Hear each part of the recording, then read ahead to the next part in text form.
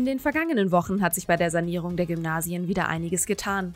Im Neubau des OHGs wurde der Estrich fertiggelegt und aktuell werden Ausgleichsmassen für den Bodenbelag aufgebracht.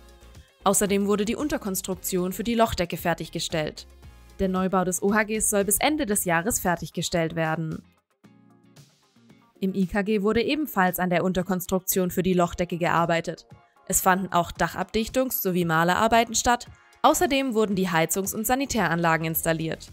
In den kommenden Wochen wird sich hier äußerlich viel verändern, dann werden die Keramikplatten an der Außenfassade angebracht.